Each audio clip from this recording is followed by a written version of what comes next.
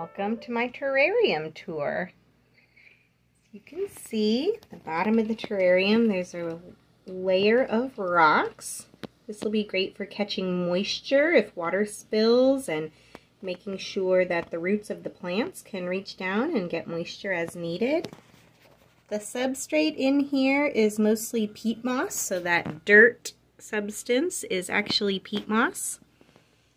Up on the top, I have two varieties of plants right now. So this here is a um, paddle leaf cactus, like a prickly pear cactus, but it is the spineless variety, so it doesn't have any spikes. And then over there, I have a vine um, growing, the pothos vine. I think it has a few different names. You can see inside, I've got a little water bowl. Um, it's very shallow. I think some of the water has already spilled, and it has a few rocks too Land snails um, are not aquatic. They can't breathe underwater. They can drown. So I wanted to make sure the water dish was really shallow. And I have some rocks, some little pieces of bark. I don't know if you can tell that piece of bark over there is actually like a little bridge.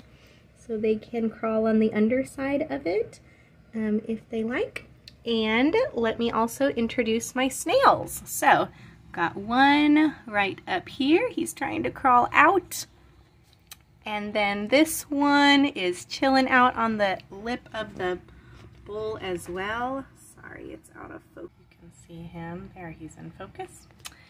And then one of them is down there on the bottom of the bowl just past the soil. He's on the move.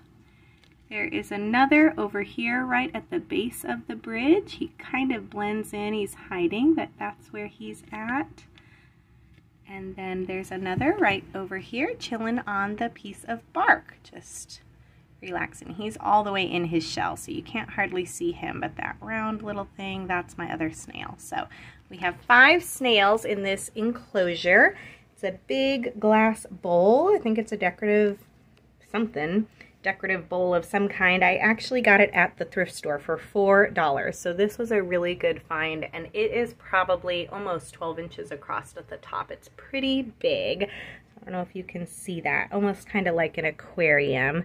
Um, this is what I'm starting them off in. We'll see how big they get and if they need more space as time goes on.